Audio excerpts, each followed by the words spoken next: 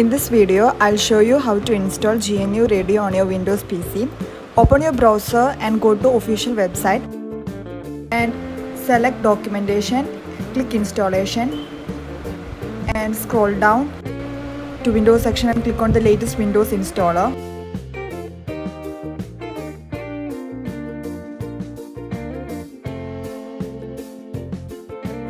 Once the installer is downloaded, double click to open it. Follow the installation steps. Accept the license.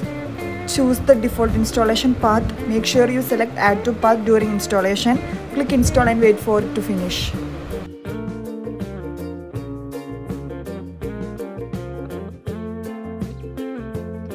After installation, go to start menu, search for GNU Radio Companion and open it. The GUI should open and you are ready to create your flow graphs.